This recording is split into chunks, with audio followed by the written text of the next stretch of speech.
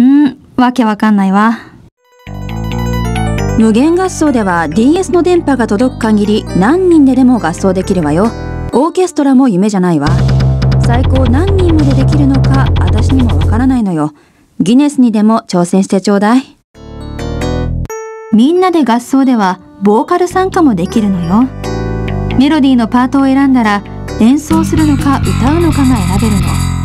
歌うコーナーのトレーニングで特訓して参加してちょうだい。ピアノの音を聞いてたら学校の音楽の授業を思い出すわ。懐かしいわね。コウモリにもちゃんと学校はあるのよ。お化けにはないらしいけどね。コンピューターが使えるとなんか賢そうでしょ？だから拾ってきちゃった。壊れてるけどね。CD くらいなら再生できるわ。でも、こんな音しか出ないのよ。ゲームウォッチって知ってる？この任天堂 d s のご先祖様にあたるのよ。科学の発展ってすごいわね。私の美貌もこんなにくっきり表示できるようになったんだから。お便りを紹介するわ。バーバラさんはモテるためにどんな努力をしてますかだって私はいつもこんなムーディーなサウンドを用意してるわよ。これでイチコロのはずよ。アラビアンナイトってお話知ってる？千夜一夜物語とも言うわ。千一夜にわたってシェヘラザードっていうお姫様が語った200近くの物語集のことよ。どう？私って物知りでしょファミリーコンピュータは1983年7月15日に任天堂から発売された家庭用ゲーム機なの。当時は日本中の皆さんに愛されたのよ。まるでこの私のようね。五線譜は読めない、音符は苦手っていうあんたたちでも簡単に曲が作れる機会を仕入れたわよ。歌うだけで楽譜ができる鼻歌作曲に気ままに鍵盤を叩けば楽譜ができる鍵盤作曲よ。アラブの大富豪のパーティーに行きたいわ。そうそう、カクテルパーティー効果って知ってる？ざわざわしてても興味のある会話なんかは聞き取ることができるんだって。私もお金の話ならどこでも聞き取れるわよ。昨日街歩いてたらスカウトされたのよ。いよいよ私もデビューって思ったら、お化け屋敷のお化け役だって。ノーメイクで大丈夫だなんて言われたのよ。まったくバカにしてるわ。カラオケは空っぽのオーケストラの略なんだって。日本が発祥の文化なのよ。アメリカやロシアでもカラオケで通用するらしいわ。みんな歌が好きなのね。クラシックがブームだって聞いたけど、全然気づかなかったわ。流行に敏感な私としては聞いてみないとね。クラシック聴いてるって言ったら上品で教養があるように見えるわよね。私にぴったり。私の主食はフルーツなのよ。可愛いでしょ？フルーツコウモリだからね。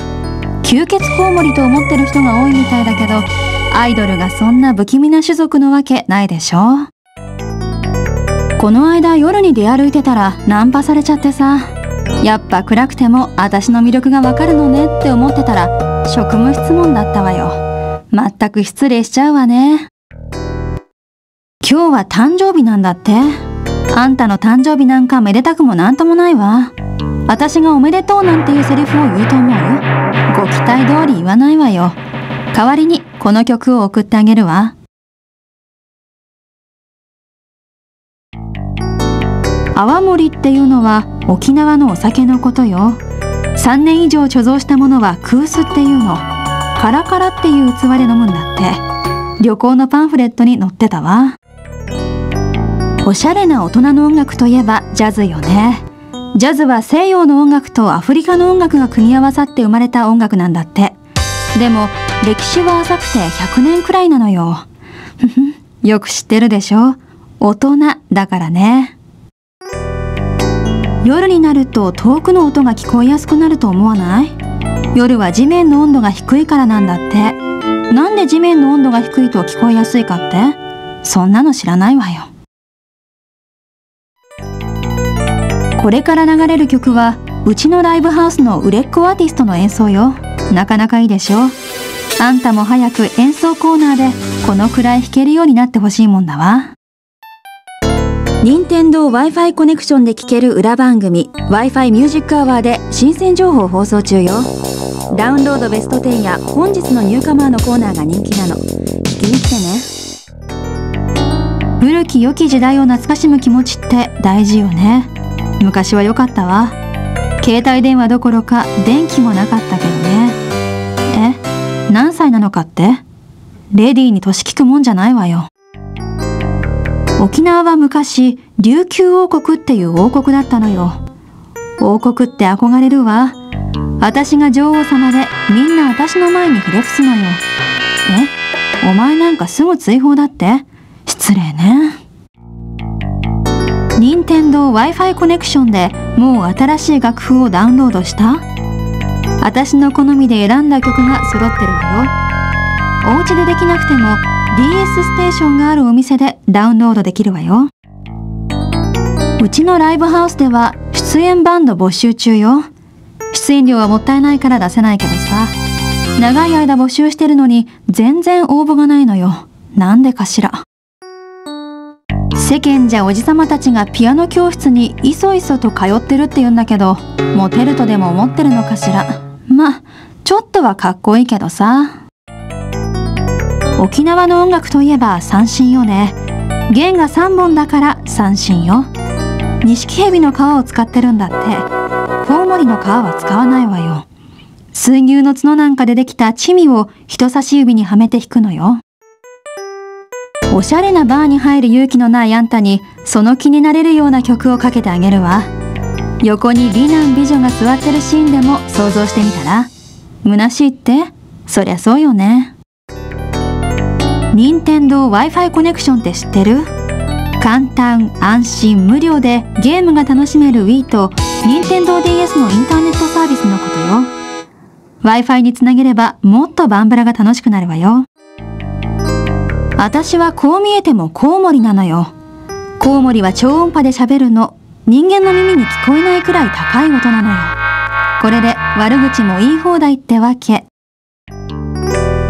今欲しいものはアラジンの魔法のランプね。願い事を一つだけ叶えてくれるの。でも一つじゃ足りないわ。まずお金でしょ。それから美貌にでもって痩せたいし。それからパイプオルガンは楽器の女王様って呼ばれているの。まるで私みたいね。何百何千ものパイプに風を送って合奏させる大きな楽器なのよちなみに楽器の王様はピアノなんだって。もう Wii につなげてセッションしてみた？音もいいしすごい迫力でしょ？ま、テレビによるんだけどさ。まだの人は友達誘ってぜひ試してみてよ。え？もしかして Wii 持ってないの？オーケストラの指揮者っていいわね。タクト一つでしもべたちが操れるのよ。え？あれ魔法の杖じゃないの？じゃなんでみんな言うこと聞いてくれんの？ゲーム好きな人にはこのピコピコ音がたまらないらしいわ。世の中いろんな人がいるわよね。まそんな私もお金の音には敏感だけどね。アリババと40人の盗賊のお話の中で洞窟の扉を開ける呪文が「開けごま」なんだけどなんでごまなのか知ってる？扉が開く様がごまの種が飛び出すのに似てるからなんだって暑いわね。私暑いの苦手なのよ。ライブハウスが儲かってりゃこんなことしてないで、今頃南の島でバカンスしてるわよ。ま、夜行性だからあんまり南の島の意味ないかもね。歌うコーナーの歌声タイプ診断は実生活でも活用できるわよ。ここ一番の時にどんな歌を歌えばいいか私がバッチリ教えてあげるわ。もう歌うコーナーに行った？新しく副業を始めたのよ。なんと私が親切にうまく歌える方法を教えてあげる機能付きなの。あんたたちこれでモテモテよ。私の首元の毛は襟巻きじゃなくて毛なのよ。毛。生えてるのよ。だから夏は暑いのよね。あら、でももしかしてこれって無駄毛なのかしら。よく考えると恥ずかしいわ。まだ起きてるの？よっぽど暇なのね。昼寝のしすぎよ。何を期待してるのか知らないけどこれ以上起きてたって何にもいいことないわよこの曲聴いて早く寝なさい。曲を検索するときに鼻歌検索を使ってみるのも面白いわよ。マイクに向かって歌えばあら不思議。お目当ての曲が登場するわ。ま音痴じゃ話にならないけどね。あんたたち教養がなさそうだけどクラシック音楽くらい聞いたことあるでしょ？知ってる？クラシックって。ーや縦ロールの髪型のおじさまが演奏してるやつよ。あれ実はカツラなのよ。沖縄音楽はドレミファソラシドのレとラを抜くのが特徴なの。試しにフリー演奏のピアノ演奏でドレミファソラシドのレとラを抜いて弾いてみて。どう？沖縄っぽいでしょ？じゃ次のお便り。バーバラさんの苦手なものって何ですかってどうせ十字架とかニンニクとかって思ってんでしょ？そんなもの怖くないわよ。私は吸血鬼じゃないんだから。もうすっかり夏ね。夏といえば海。そうそう知ってる？水中の方が空気より音が早く伝わるのよ。だから水の中では8ビートは16ビートにってそんな意味じゃないわよ。静かな方が落ち着くと思ってるでしょ？でも実は人間って全く音がない世界だと落ち着かないらしいわよ。わがままね。こんな癒し系の音楽がかかってるくらいでちょうどいいらしいわ。知ってた？ライブハウスって和製英語なんだって。チラシとかポスターとかで使いまくってたわ。え？クラブウィズライブミュージックっていうのが正しいの？そんなの聞いたことないわよ。オーケストラの演奏を取りまとめる人のことをコンサートマスターって言うんだって。女性はコンサートミストレスっていうらしいわ。いろいろあるのね。バロック音楽でよく使われるチェンバロっていう楽器の名前はドイツ語なのよ。英語ではハープシコードっていうの。どっちも知らないって。教えがいがないわね。なんで悪魔ってコウモリの羽なのかしら。色が黒いっていうだけでみんなコウモリを誤解してるわ。心は天使のように純粋なのよ。カラスだって同じように愚痴ってたわよ。この店を始めた理由は別に音楽や楽器が好きだったわけじゃないわよ。ここ空き家だったのよ。ま簡単に言えば勝手に住み着いてるんだけどね。家賃はタダだし最高よ。羽がないけど私は一応コウモリなの。なんで羽がないかは内緒よ。どっちにしろ体重が重いから飛べないだろうって。レディーに対して失礼ね。作曲機能で自慢の一曲ができたら任天堂 Wi-Fi コネクションで番組まで応募してちょうだい。作曲コーナーの投稿で私に届くわ。この番組はあんたたちの頑張りで成り立ってるわけよ。エアギターっていうのはギターの弾き真似のことよ。ギターの練習するのがめんどくさいから私ももっぱらエアギターを愛用してるわ。そんな人多いんじゃないの？他のゲームの仕事ないのかしら？マリオに代わる次の任天堂のマスコットキャラクターにしては待遇が悪いと思うんだけど社長も見る目ないわね。もしかして幽霊とか UFO とかって信じてんの？子供は夢があるわね。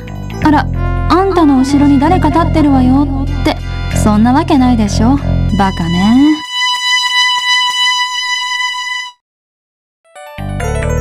これ聞きながら受験勉強してる人なんているのかしら。ご苦労様ね。でも勉強しておいて損はないわよ。今はわからなくても大人になったらわかるわよ。私もたまには真面目なこと言うでしょ私コウモリなんだけどご覧の通り羽がないのよね。だから魔法の絨毯が欲しいの。どこへでも行けるしなんてったって高値で売れるしね。モーツァルトは3歳の頃からピアノを弾き始めたらしいわ。やっぱり天才は違うわね。私だって3歳の時から金勘定してたわよ。